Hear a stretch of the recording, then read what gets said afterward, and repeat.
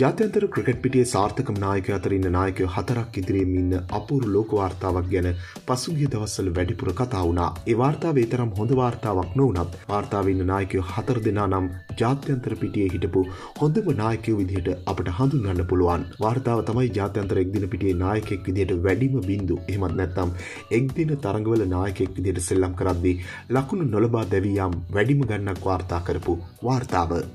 මේ වාර්තාවේ පළවෙනි තැනින් අර්ජුන රණතුංග රණතුංග අර්ජුන කියන්නේ ශ්‍රී ලංකා ක්‍රිකට් වෙනම පාරකට හරවපු ශ්‍රී ලංකාවට එක්දින ලෝක කුස්ලානේ ලබා දෙන්න නායකත්වය දීපු නායකයා. රණතුංග නායකෙක් විදිහට එක්දින ඉනිම එකසි අසුතුනකට සෙල්ලම් කරලා අවස්ථා දා හතරක දැවී ගිහින් තියෙන්නේ ලකුණු ලබා ගන්නේ නැතුව. මේ වාර්තාවේ දෙවන තැනින් තවත් සුපිරි නායකයෙක්. ඒ තමයි නවසීලන්ත හිටපු නායක ස්ටිවන් ෆ්ලෙමින්. ෆ්ලෙමින් අර්ජුන වගේම එක්දින තරඟවල බින්දු 14ක් වාර්තා කරලා තියෙනවා. හැබැයි ෆ්‍රමින් එක්දින ඉනිම් දෙසිය අටකට නායකත්වය දීලා මෙහෙම අවස්ථා දා හතරක බින්දුවට දැවීගෙන් තියෙන් නිසා ෆ්‍රමින් වාර්තාවේ ඉන්නේ දෙවැනි තැන.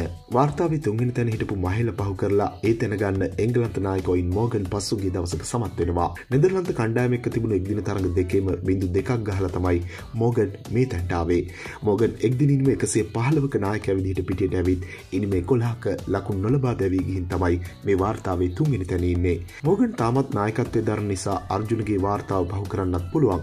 හැබැයි අර්ජුනගේ වාර්තාව හිමිකරගන්න මෝගන් සෙල්ලම් කළොත් නායකත්වය අහිමිවෙලා වාර්තාව පිහිටුවන අවස්ථාවත් අහිමිවෙන්න පුළුවන්. මෙන් වීඩියෝ දෙනපතා බලන්න අපත් සමග එකතුවන්න ඔබ තවමත් අපේ චැනලක සබස්ක්‍රයිබ් කල නැත්තං දැම්බපින් සබස්ක්‍රයිබ් කරන්නත් ක්‍රිකට්‍රට කැමති ඔබේ යහලකුට බලන්න.